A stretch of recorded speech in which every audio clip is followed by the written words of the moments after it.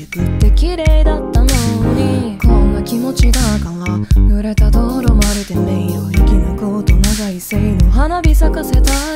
傘はささずにごめんねって独り言言った冬だから白い吐息が静かに星と溶けていく夜でした今日は満月だからさ。